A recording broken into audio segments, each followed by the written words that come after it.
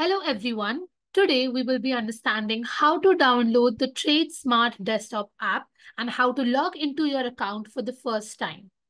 To download the TradeSmart desktop app, please visit the TradeSmart online page and click on Platform and Tools. Under this, you will be able to see TradeSmart desktop. Once you click on it, it will redirect you to the TradeSmart desktop application web page. Once you're on here, scroll down and click on the download button. The download for the exe file will start.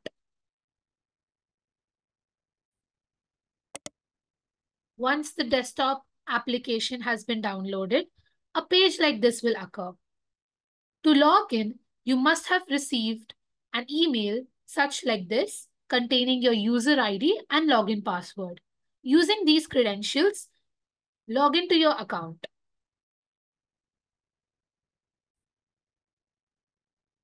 After you add in your password, which you had received via the email, you will be asked to enter an OTP. To get the OTP, click on Get OTP and then click on Proceed. The OTP will be sent to your registered email or mobile number.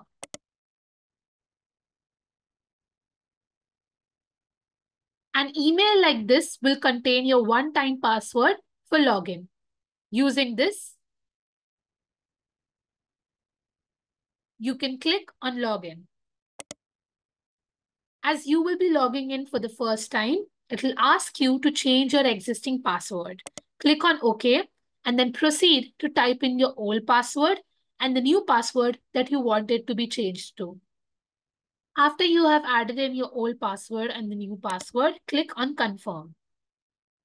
This means that the password has been changed and your new password will again expire in 15 days.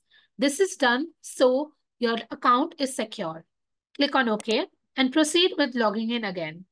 In case you forget the password, you can simply click on forgot password and it will ask you to enter your details and then reset the password using the credentials that will be sent to your email.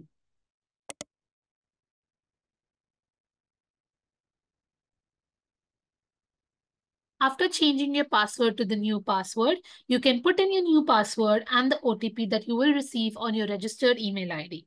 Click on login. And the app will authenticate.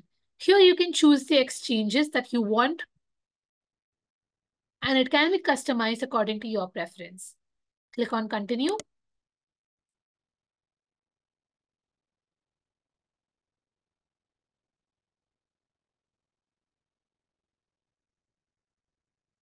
After the app initializes, it'll restore your existing workspace. Once that is done, you will now be able to access the TradeSmart desktop application and trade with ease. Thank you so much for watching. Hope this was helpful.